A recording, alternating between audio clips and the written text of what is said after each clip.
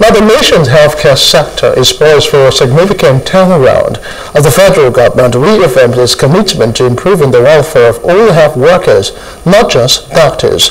This was reiterated by the Minister of State for Environment, Dr. Isiaq Koli Salako, at the National Association of Resident Doctors Annual General Meeting and Scientific Conference in Abeokuta. According to Salako, President Tinubu is dedicated to revitalizing the healthcare sector and ensuring quality universal health coverage for all Nigerians. Addressing the current economic hardship, the minister stressed that the president is working to turn around Nigeria's fortunes. What I can say is that government will continue to um, ensure that as much as possible we try our best to meet doctors, especially resident doctors, will give some concessions. Government will definitely have to do something to ensure that we uplift their welfare.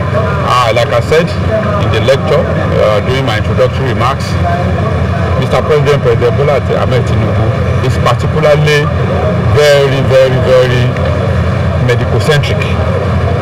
You know, I say that this cabinet is a cabinet of doctors while delivering a paper on building a resilient health workforce, embracing climate-centric innovations, the minister noted that the federal government has begun incorporating climate change considerations into various health policies and plans.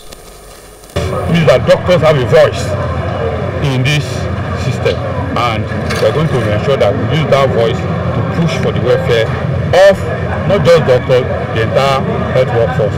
But like I also said, the commitment of Mr. President to all Nigerians, and I could see that Mr. President wants to do all his best to turn around the fortunes of Nigeria so that all of us can start smiling again. Thank you so much. Hello. Hope you enjoyed the news. Please do subscribe to our YouTube channel and don't forget to hit the notification button so you get notified about fresh news updates.